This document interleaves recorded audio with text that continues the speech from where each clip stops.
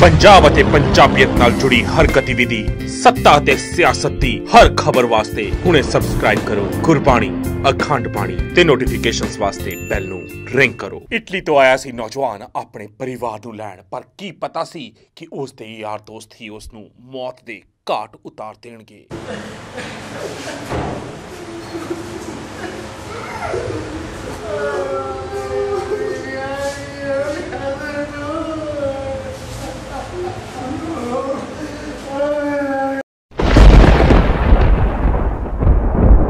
ਵਾਹਿਗੁਰੂ ਜੀ ਕਾ ਖਾਲਸਾ, ਵਾਹਿਗੁਰੂ ਜੀ ਕੀ ਫਤਿਹ। ਜੀ ਹਾਂ, ਗੁਰ ਪਿਆਰਿਓ, ਇਹ ਦੁਖਦਾਈ ਖਬਰ ਨਕੋਦਰ ਤੋਂ ਆ ਰਹੀ ਹੈ। ਨਕੋਦਰ ਦੇ ਨਾਲ ਲੱਗਦੇ ਪਿੰਡ ਮੂਦਾ ਦੇ ਰਹਿਣ ਵਾਲੇ ਪਰਵਿੰਦਰ ਸਿੰਘ ਨੇ ਜਾਣਕਾਰੀ ਦਿੰਦਿਆਂ ਹੋਇਆਂ ਦੱਸਿਆ ਕਿ ਉਸ ਦਾ ਭਰਾ ਜਤਿੰਦਰ ਸਿੰਘ ਪੁੱਤਰ ਸਤਵਿੰਦਰ ਸਿੰਘ, ਜੋ ਕਿ ਇਟਲੀ ਤੋਂ ਆਇਆ ਸੀ ਅਤੇ ਉਹ ਆਪਣੇ ਪਰਿਵਾਰ ਨੂੰ ਇਟਲੀ ਲੈ ਜਾ ਰਿਹਾ ਸੀ। ਪਰ ਉਸ ਦੇ ਹੀ ਇੱਕ ਜਾਣਕਾਰ ਹਰਦੀਪ ਸਿੰਘ ਨੇ ਉਸ ਨੂੰ ਆਪਣੇ ਘਰ ਬੁਲਾ ਲਿਆ। ਘਰੇ ਪਰਤ ਕੇ ਨਹੀਂ ਆਇਆ ਤਾਂ ਘਰ ਵਾਲਿਆਂ ਨੇ ਜਤਿੰਦਰ ਨੂੰ ਲੱਭਣਾ ਸ਼ੁਰੂ ਕੀਤਾ ਤੇ ਕੁਝ ਸਮੇਂ ਬਾਅਦ ਹੀ ਜਤਿੰਦਰ ਦੀ ਲਾਸ਼ ਘਰਦਿਆਂ ਨੂੰ ਹਰਦੀਪ ਦੇ ਘਰੋਂ ਮਿਲੀ। ਫਿਲਹਾਲ ਪੁਲਿਸ ਨੇ ਜਤਿੰਦਰ ਸਿੰਘ ਦੀ ਲਾਸ਼ ਨੂੰ ਆਪਣੇ ਕਬਜ਼ੇ ਵਿੱਚ ਲੈ ਕੇ ਪੋਸਟਮਾਰਟਮ ਦੇ ਲਈ ਨਕੋਦਰ ਸਿਵਲ ਹਸਪਤਾਲ ਵਿਖੇ ਮੁਰਦਾ ਘਰ ਵਿੱਚ ਰਖਵਾ ਦਿੱਤਾ ਹੈ। ਹਰਦੀਪ ਅਤੇ ਕਨੌਜ ਦੇ ਖਿਲਾਫ 302 ਦਾ ਮਾਮਲਾ ਦਰਜ ਕਰ ਲਿਆ ਹੈ ਅਤੇ ਅਗਲੀ ਕਾਰਵਾਈ ਸ਼ੁਰੂ ਕਰ ਦਿੱਤੀ ਗਈ ਹੈ। ਮ੍ਰਿਤਕ ਦੇ ਭਰਾ ਪਰਵਿੰਦਰ ਸਿੰਘ ਨੇ ਆਰੋਪ ਲਗਾਇਆ ਕਿ ਹਰਦੀਪ ਅਤੇ ਕਨੌਜ ਨੇ ਉਸ ਦੇ ਭਰਾ ਨੂੰ ਕੋਈ ਜ਼ਹਿਰੀਲੀ ਚੀਜ਼ ਖਿਲਾ ਕੇ ਉਸ ਦਾ ਕਤਲ ਕੀਤਾ ਹੈ।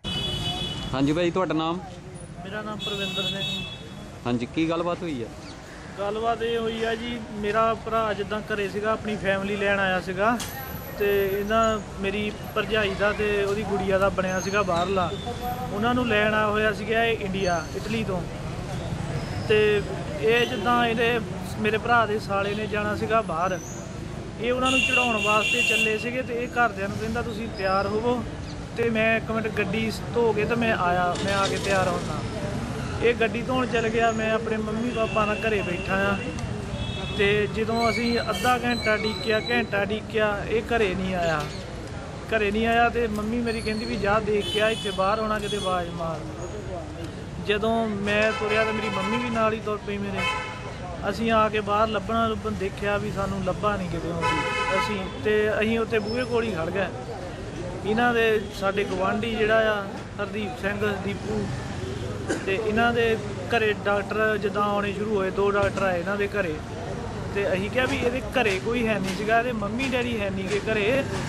ਤੇ ਇਹ ਗੱਲ ਕੀ ਹੋਈ ਆ ਵੀ ਇਹਨਾਂ ਦੇ ਡਾਕਟਰ ਕਾਹਤੋਂ ਆਉਂਦੇ ਆ? ਮੈਂ ਆਪਣੇ ਚਾਚਾ ਜੀ ਨੂੰ ਕਿਹਾ ਵੀ ਚਾਚਾ ਜੀ ਤੁਸੀਂ ਜਾ ਕੇ ਦੇਖੋ ਨਾ ਵੀ ਕੀ ਗੱਲ ਆ। ਤੇ ਚਾਚਾ ਜੀ ਮੇਰੇ ਗਏ ਤੇ ਮੈਂ ਮਗਰ ਨਾਲ ਚੱਲ ਗਿਆ ਇਹਨਾਂ ਦੇ। ਜਦੋਂ ਗਏ ਆ ਮੈਂ ਜਾ ਕੇ ਦੇਖਿਆ ਤਾਂ ਮੇਰਾ ਭਰਾ ਉੱਥੇ ਹੀ ਖਤਮ ਹੋਇਆ। ਕੀ ਨਾਮ ਸੀਗਾ? ਜਤਿੰਦਰ ਸਿੰਘ। ਤੁਹਾਨੂੰ ਕੀ ਸ਼ੱਕ ਹੈਗੀ ਆ? ਸਾਨੂੰ ਇਹ ਸ਼ੱਕ ਆ ਵੀ ਉਹਨੇ ਕੋਈ ਜ਼ਹਿਰੀਲੀ ਚੀਜ਼ ਦੇ ਕੇ ਮਾਰਿਆ। ਹਰਦੀਪ ਦੇ ਨਾਲ ਕੋਈ ਹੋਰ ਵੀ ਸੀ? ਹਾਂਜੀ ਇੱਕ ਮੁੰਡਾ ਹੋਰ ਸੀ ਕਨੌਜ। ਅੱਛਾ ਜੀ। ਹਾਂਜੀ। ਤੇ ਪੁਲਿਸ ਨੇ ਕੀ ਕਾਰਵਾਈ ਕੀਤੀ ਹੁਣ? ਦੇਖੋ ਹਜੇ ਕੋਈ ਕਾਰਵਾਈ ਨਹੀਂ ਕੀਤੀ ਹੁਣ ਤੁਸੀਂ ਕੀ ਮੰਗ ਕਰਦੇ ਹੋ? ਅਸੀਂ ਤਾਂ ਇਨਸਾਫ ਚਾਹੁੰਦੇ ਹਾਂ ਜੀ। ਸਾਨੂੰ ਇਨਸਾਫ ਮਿਲਣਾ ਚਾਹੀਦਾ ਵੀ ਜੇ ਸਾਡੇ ਨਾਲ ਕੋਈ ਧੱਕਾ ਹੋਇਆ। ਤੁਹਾਡੇ ਬ੍ਰਦਰ ਦਾ ਨਾਮ ਕੀ ਸੀ? ਜਤਿੰਦਰ ਸਿੰਘ। ਕਿੰਨਾ ਚਿਰ ਹੋ ਗਿਆ ਸੀ ਇਟਲੀ ਗਿਆ ਨੂੰ? ਉਹਨਾਂ ਨੂੰ 12 ਸਾਲ ਹੋ ਗਏ ਜੀ ਗਏ ਨੂੰ। ਤੇ ਇਹਦਾ ਕੋਈ ਤੁਹਾਨੂੰ ਲੱਗਦਾ ਕਿ ਕੋਈ ਇਹਨਾਂ ਦੀ ਕੋਈ ਪੁਰਾਣੀ ਰੰਜਿਸ਼ ਜਾਂ ਕੋਈ ਗੱਲਬਾਤ ਹੋਈ ਹੈ? ਇਹਨੇ ਦੇਖੋ ਜੀ ਆਪਸ ਵਿੱਚ ਕੋਈ ਹੋਊਗੀ ਸਾਨੂੰ ਪਤਾ ਨਹੀਂ ਕੋਈ ਲੱਗਦੀ ਹੋਊਗੀ ਇਹਨਾਂ ਦੀ। ਜਿਹੜਾ ਉਹਨੂੰ ਘਰੇ ਲੈ ਗਿਆ ਘਰੇ ਲੈ ਗਿਆ ਤੇ ਉੱਥੇ ਮਰਿਆ ਪਿਆ ਸੀ ਇਹ ਕੋਲ ਬੈਠੇ ਇਹਦੇ।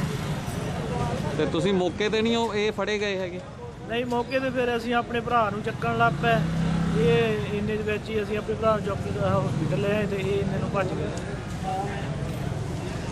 ਪਿੰਡ ਮੁੱਦਾ ਤੋਂ ਇੱਕ ਇਨਫੋਰਮੇਸ਼ਨ ਆਈ ਸੀ ਕਿ ਲੜਕਾ ਇੱਕ ਆਸਟ੍ਰੇਲੀਆ ਤੋਂ ਅਹ, ਇਟਲੀ ਤੋਂ ਆਇਆ ਸੀ ਜਿਹਦੀ ਡੈਥ ਹੋ ਗਈ ਆ। ਅਸੀਂ ਮੌਕੇ ਤੇ ਗਏ ਜਾ ਕੇ ਉੱਥੇ ਵੇਖਿਆ ਤੇ ਉਹਦੇ ਪਰਿਵਾਰ ਨੂੰ ਪੁੱਛਿਆ ਉਹਦੇ ਭਰਾ ਪ੍ਰਵਿੰਦਰ ਸਿੰਘ ਨੇ ਦੱਸਿਆ ਕਿ ਇਹਨੂੰ ਕੋਈ ਜ਼ਹਿਰੀਲੀ ਚੀਜ਼ ਦੇਤੀ ਆ ਉਹਨਾਂ ਦੇ ਗੁਆਂਢੀ ਆ ਮੁੰਡਾ ਹਰਦੀਪ ਸਿੰਘ ਸੀ ਉਹਨੇ ਕੋਈ ਜ਼ਹਿਰੀਲੀ ਚੀਜ਼ ਦੇ ਕੇ ਤੇ ਉਹਨੂੰ ਮਾਰਤਾ। ਡੈੱਡ ਬੋਡੀ ਉਹਦੀ ਲਿਆ ਕੇ 302 ਦੇ ਵਿੱਚ ਐਫ ਆਈ ਆਰ ਦਰਜ ਕਰਕੇ ਤੇ ਤਫਤੀਸ਼ ਸ਼ੁਰੂ ਕਰਤੀ ਹੈ। ਜੋ ਵੀ ਤਫਤੀਸ਼ ਦੇ ਦੌਰਾਨ ਸਾਹਮਣੇ ਆਏਗਾ ਉਹਦੇ ਮੁਤਾਬਕ ਸਰ ਡੈਥ ਜਿਹੜੀ ਹੋਈ ਉਹਦਾ ਨਾਮ ਕੀ ਹੈ? ਜਤਿੰਦਰ ਸਿੰਘ ਹੈ, ਜਤਿੰਦਰ ਸਿੰਘ ਪੁੱਤਰ ਸਤਵਿੰਦਰ ਸਿੰਘ ਵਾਸੀ ਪਿੰਡ ਤੇ ਸਰ ਕੋਈ ਤਬਦੀਸ਼ ਦੇ ਵਿੱਚ ਇਹ ਵੀ ਲੱਗ ਰਿਹਾ ਕੋਈ ਇਹਦੀ ਪੁਰਾਣੀ ਰੰਜਿਸ਼ ਜਾਂ ਕੋਈ ਗੱਲਬਾਤ ਹੈਗੀ ਆ? ਅਜੇ ਕੋਈ ਗੱਲ ਨਹੀਂ ਸਾਹਮਣੇ ਆਈ ਹੈ। ਜੀ ਜੋ ਜਦੋਂ ਵੀ ਕੋਈ ਗੱਲ ਇਹੋ ਜਿਹੀ ਤਫਤੀਸ਼ ਦੌਰਾਨ ਜੋ ਵੀ ਤੱਥ ਆਉਣਗੇ ਸਾਹਮਣੇ। ਤੇ ਸਰ ਪਰਚਾ ਜਿਹੜਾ ਕੀਤਾ ਗਿਆ 302 ਦਾ ਕਿਹਦੇ ਕਿਹਦੇ ਤੇ ਕੀਤਾ ਗਿਆ? ਹਰਦੀਪ ਸਿੰਘ ਦੀਪੂ ਤੇ ਕਨੋਜ ਹੈ ਜੀ ਇੱਕ ਲੜਕਾ। ਉਹਨਾਂ ਤੋਂ ਠੀਕ ਹੈ। ਗੁਰਪਿਆਰੇ ਅੱਜ ਕੱਲ੍ਹ ਦੀ ਦੁਨੀਆ ਦੇ ਵਿੱਚ ਕਿਸੇ ਤੇ ਵੀ ਅਸੀਂ ਭਰੋਸਾ ਨਹੀਂ ਕਰ ਸਕਦੇ। ਬਹੁਤ ਸਾਰੇ ਅਜਿਹੇ ਨੇ ਜੋ ਕਹਿਣ ਨੂੰ ਸਾਡੇ ਰਿਸ਼ਤੇਦਾਰ ਹੁੰਦੇ ਨੇ, ਪਰ ਸਾਡੀਆਂ ਹੀ ਜੜ੍ਹਾਂ ਵੱਢਣ ਵਿੱਚ ਲੱਗੇ ਹੁੰਦੇ ਨੇ, ਜੋ ਆਪਣੇ ਪਰਿਵਾਰ ਦੀਆਂ ਤਕਲੀਫਾਂ ਦੇਖਦੇ ਹੋਏ ਦੂਜੇ ਦੇ ਪਰਿਵਾਰ ਦੀਆਂ ਤਰੱਕੀਆਂ ਹੁੰਦੀਆਂ ਕਦੇ ਬਰਦਾਸ਼ਤ ਨਹੀਂ ਕਰ ਸਕਦੇ। ਪਰ ਅਜਿਹੀ ਸੋਚ ਰੱਖਣ ਵਾਲੇ ਇਨਸਾਨਾਂ ਨੂੰ ਇਹ ਕਦੇ ਨਹੀਂ ਭੁੱਲਣਾ ਚਾਹੀਦਾ ਕਿ ਪਰਮਾਤਮਾ ਨੇ ਹਰ ਕਿਸੇ ਨੂੰ ਉਸ ਦੀ ਕਿਸਮਤ ਦਾ ਹੀ ਦਿੱਤਾ ਹੈ। ਤੇ ਜੇਕਰ ਤੁਸੀਂ ਕਿਸੇ ਦੀ ਕਿਸਮਤ ਖਿੜਖੜਾਉਂਦੀ ਹੋਈ ਵੇਖ ਸੜਦੇ ਹੋ ਜਾਂ ਉਹਨਾਂ ਬਾਰੇ ਮੰਦਾ ਸੋਚਦੇ ਹੋ ਜਾਂ ਮੰਦਾ ਉਹਨਾਂ ਦੇ ਨਾਲ ਕਰਨ ਦੀ ਕੋਸ਼ਿਸ਼ ਕਰਦੇ ਹੋ, ਤਾਂ ਉਸ ਦਾ ਖਾਮਿਆਜ਼ਾ ਤੁਹਾਨੂੰ ਭੁਗਤਣਾ ਹੀ ਪੈਂਦਾ ਹੈ। ਹੋ ਸਕਦਾ ਹੈ ਕਿ ਤੁਹਾਡੀ ਸਾਰੀ ਜ਼ਿੰਦਗੀ ਅੱਡੀਆਂ ਰਗੜਦਿਆਂ ਨਿਕਲੇ। ਤੁਸੀਂ ਸਭ ਇਸ ਮਸਲੇ ਤੇ ਕੀ ਸੋਚਦੇ ਹੋ, ਆਪਣੇ ਵਿਚਾਰ ਨੀਚੇ ਕਮੈਂਟਸ ਦੇ ਵਿੱਚ ਜ਼ਰੂਰ ਦੇਣਾ। ਵੀਡੀਓ ਚੰਗੀ ਲੱਗੀ ਹੋਵੇ ਲਾਈਕ ਤੇ ਸ਼ੇਅਰ ਵੀ ਜ਼ਰੂਰ ਕਰਨਾ। ਗੁਰਬਾਣੀ ਅਖੰਡ ਬਾਣੀ ਵਾਸਤੇ ਨਕੋਦਰ ਤੋਂ ਪੁਨੀਤ ਅਰੋੜਾ ਦੀ ਰਿਪੋਰਟ ਵਾਹਿਗੁਰੂ ਜੀ ਕਾ ਖਾਲਸਾ, ਵਾਹਿਗੁਰੂ ਜੀ ਕੀ ਫਤਿਹ। ਪੰਜਾਬ ਅਤੇ ਪੰਜਾਬੀਅਤ ਨਾਲ ਜੁੜੀ ਹਰ ਗਤੀਵਿਧੀ, ਸੱਤਾ ਅਤੇ ਸਿਆਸਤ ਦੀ ਹਰ ਖਬਰ ਵਾਸਤੇ ਹੁਣੇ ਸਬਸਕ੍ਰਾਈਬ ਕਰੋ। ਗੁਰਬਾਣੀ ਅਖੰਡ ਬਾਣੀ ਤੇ ਨੋਟੀਫਿਕੇਸ਼ਨਸ ਵਾਸਤੇ ਬੈਲ ਨੂੰ ਰਿੰਗ ਕਰੋ।